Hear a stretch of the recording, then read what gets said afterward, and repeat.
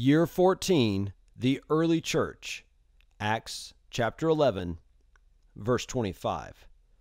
So Barnabas went to Tarsus to look for Saul. And when he had found him, he brought him to Antioch. For a whole year they met with the church and taught a great many people. And in Antioch the disciples were first called Christians. Now in these days prophets came down from Jerusalem to Antioch, and one of them, named Agabus, stood up and foretold by the Spirit that there would be a great famine over all the world. This took place in the days of Claudius. So the disciples determined, every one according to his ability, to send relief to the brothers living in Judea. And they did so, sending it to the elders by the hand of Barnabas and Saul.